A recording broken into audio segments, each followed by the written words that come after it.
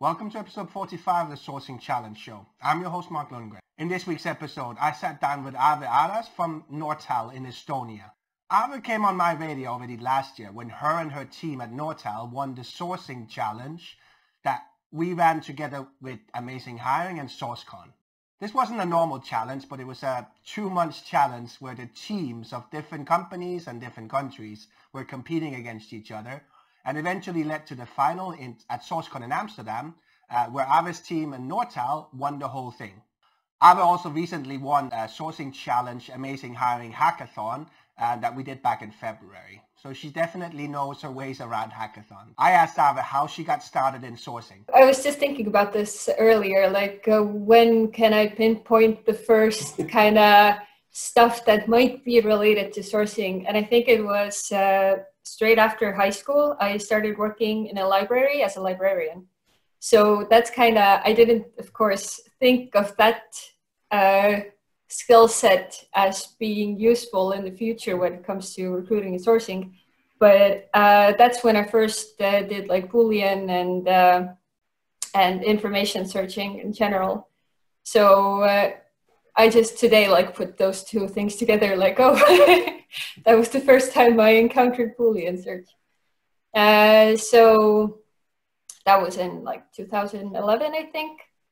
Uh, from there, I kind of went into uh, working with kids. So I was a kindergarten teacher for quite a many years. Uh, eventually, I figured out that it wasn't really for me. so that's when I started looking for kind of an office job uh, type of situation. So I went to work as an office assistant, and quite fast I got the opportunity to uh, start helping in recruitments. Mm-hmm. Uh, so it was like really uh, low skilled uh, jobs that I was uh, recruiting for. And it was mostly just like post a job ad and invite people in for the interview. So post and pray and yeah. Post and pray exactly. But it was working and for those positions uh, there wasn't really anything extra kind of needed. And uh, in that same company like slowly i started coordinating the it recruitment uh, doing some candidate communication and stuff like that.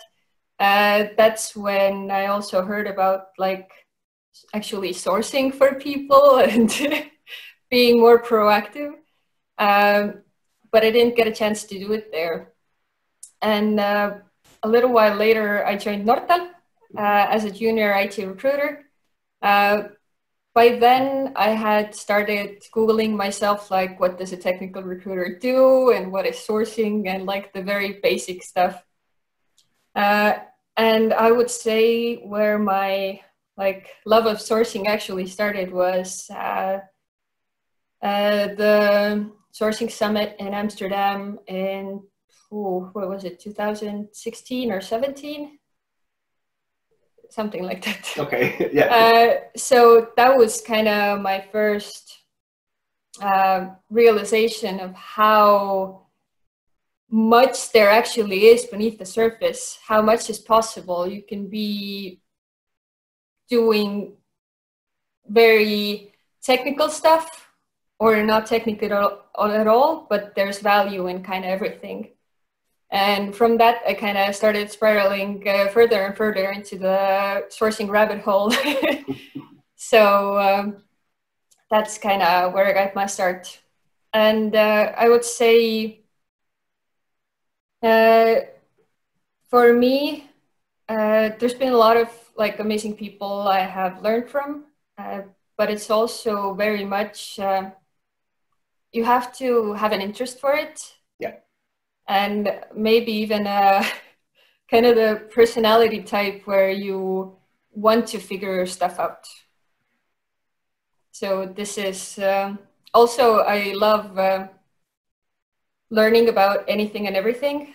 Mm-hmm. So kind of this um, search for constant search for knowledge is also really helpful like did you have specific courses or training or books that that really helped you in the beginning or was it just a like, kind of combination of everything when i started uh, it was just here's a role uh, here's the spec for it, start sourcing.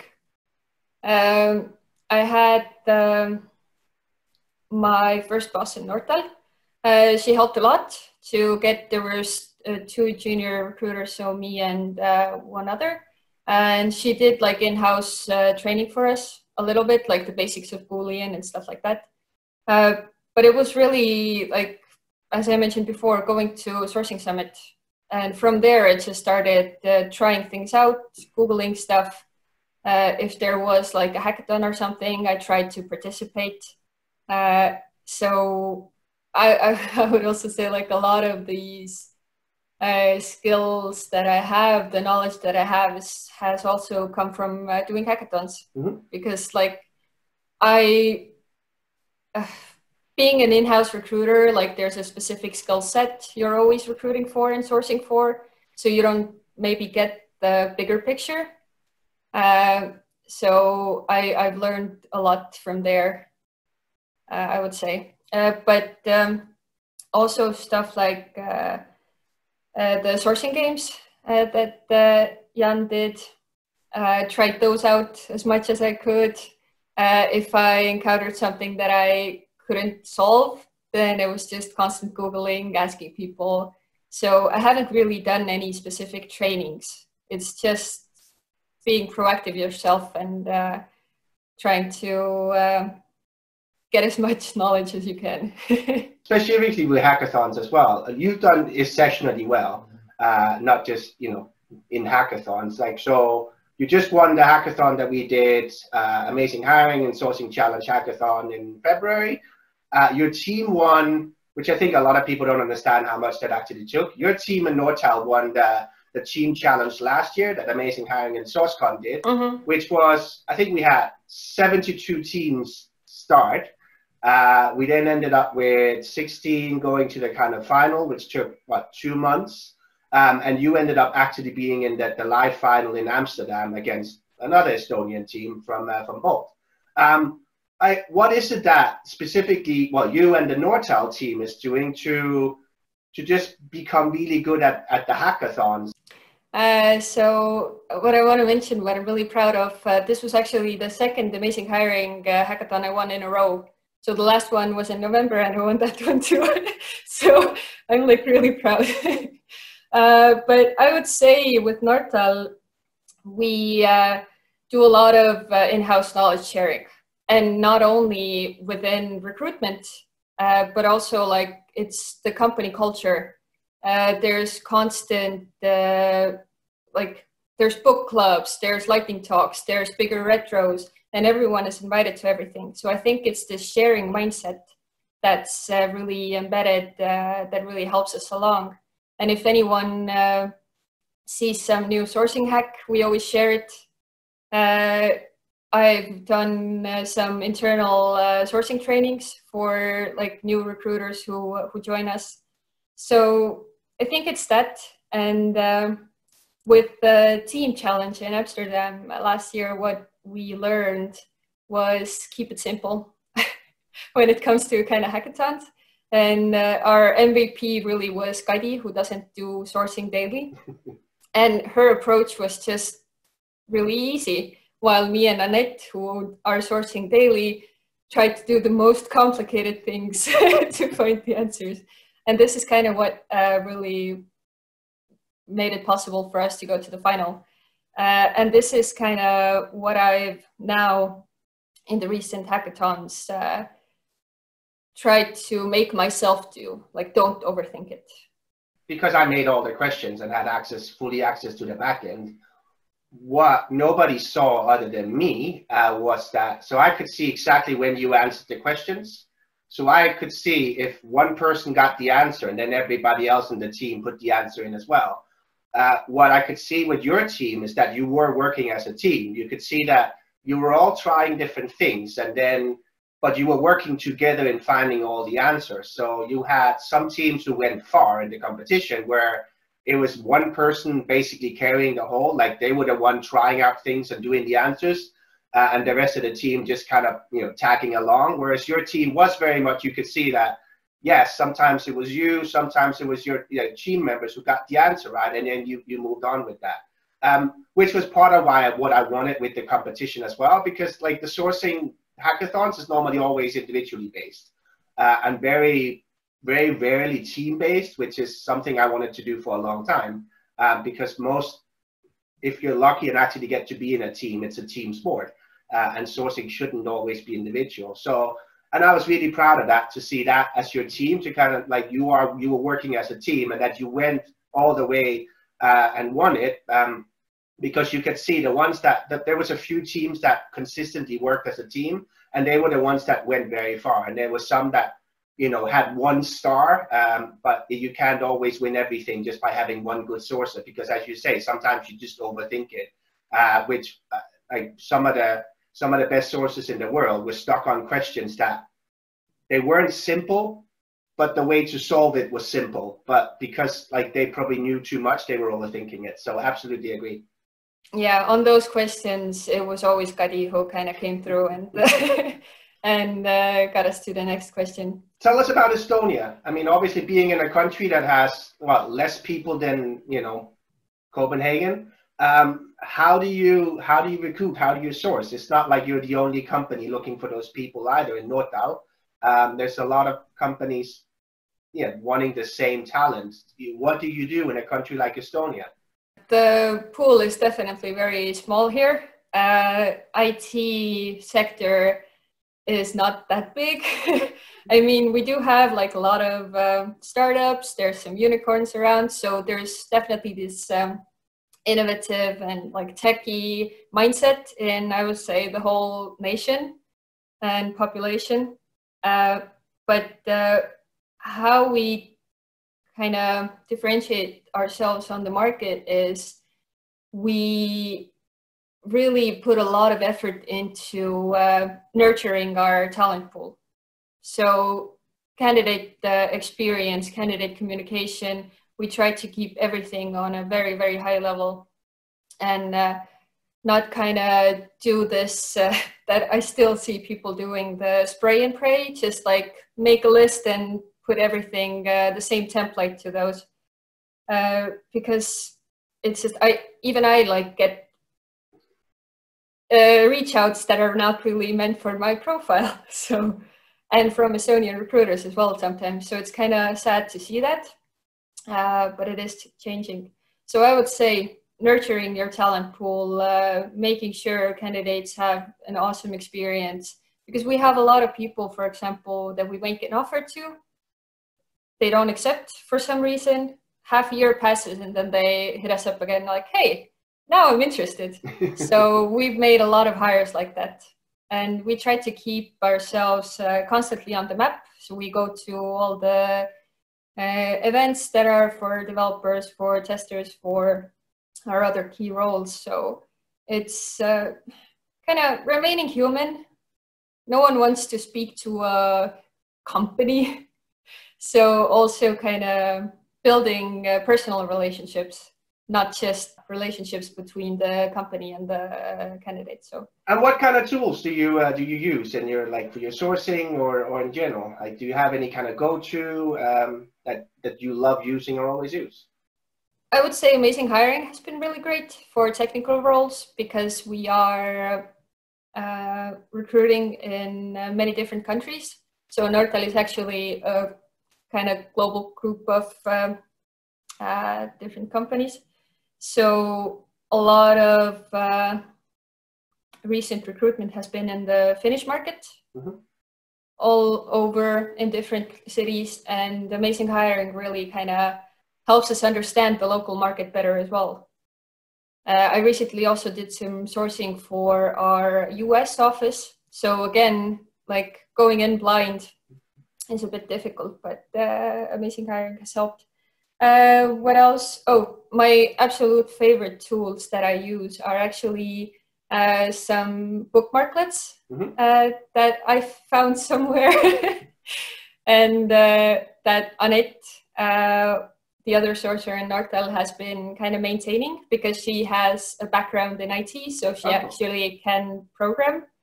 So if it breaks, then uh, then she will help me. But it's like uh, LinkedIn search, GitHub search. So you highlight the name in the browser, you click it, and then it finds uh, finds it in the uh, social media. Those are my like I use those the most.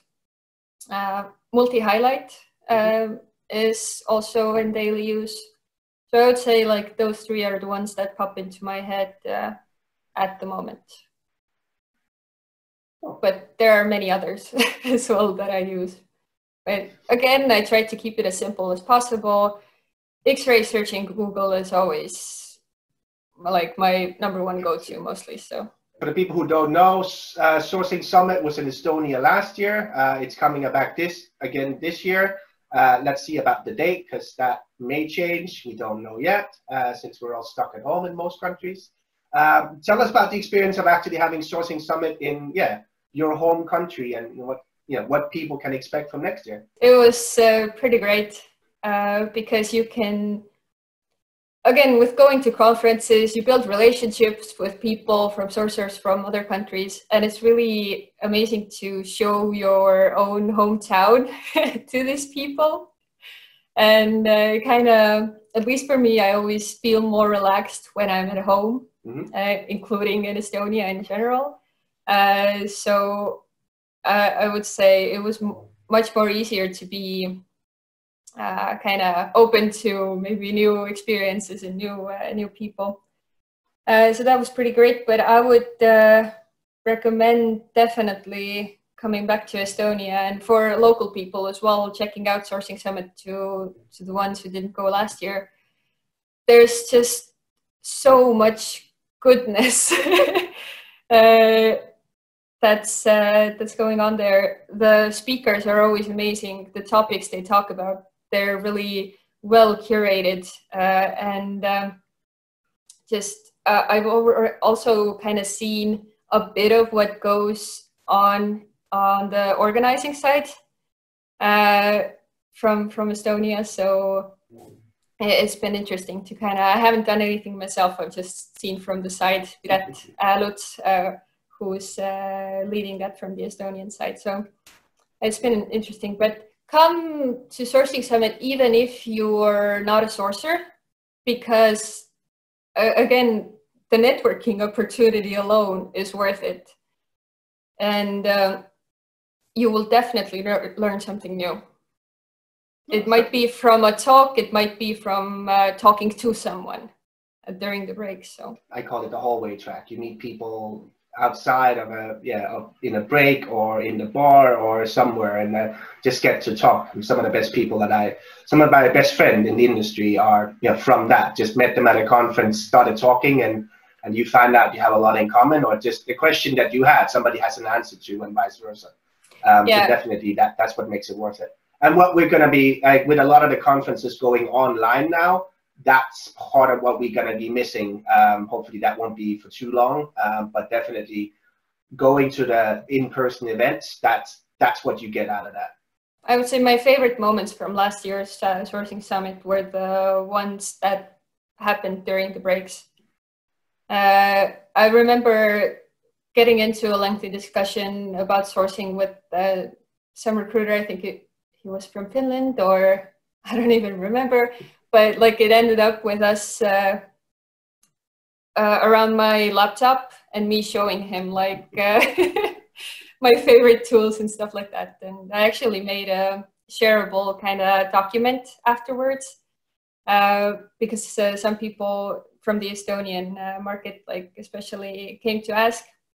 And I kind of, again, with this, one of the mindsets of Nortal, like to sharing, but I also think like I'm the kind of person, at least I like to think, who uh, tries to be as helpful as possible. So, and I also like sharing knowledge. Like I used to be a teacher, so maybe that's also why. And I made a shareable document that now, like if anyone has questions or I see that they're still starting out and they ask for advice, uh, that I share with uh, like just basic sourcing tools and how to get started and uh, the main kind of stuff uh, github stack overflow no mostly on the technical recruitment side um, but um, i really do enjoy kind of sharing my knowledge as well if people want to stay in touch with you, Ave, um, how can they best do that? Where can they find you? That's uh, one of the things maybe where I am a bit different than uh, than other maybe recruiters and sourcers who have been on. Uh, my main channel is LinkedIn. My LinkedIn profile is not very um, thorough. And uh, regarding like other social media, I'm a pretty private person. So uh, the main channel is LinkedIn follow me there, uh, connect with me, and uh, I'm happy to chat. Sounds good. Look, thank you for being on, and uh, yeah, looking forward to hopefully meeting you one day in Estonia, uh, but definitely meeting you again. Yes, it's right. been lovely. Thanks. Thank you. if you like this episode, please consider sharing it or any of the other episodes with a friend or a colleague who might be interested as well. And consider subscribing to the channel, which will help us reach more people um, and grow the community.